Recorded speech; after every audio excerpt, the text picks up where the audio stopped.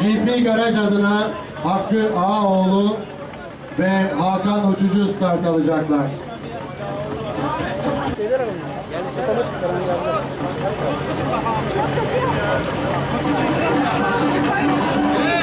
Dört, üç, iki, bir ve alkışlarla Hakkı Ağaoğlu, Hakan Uçucu GP Garaj adına start aldılar. Çok teşekkür ederim.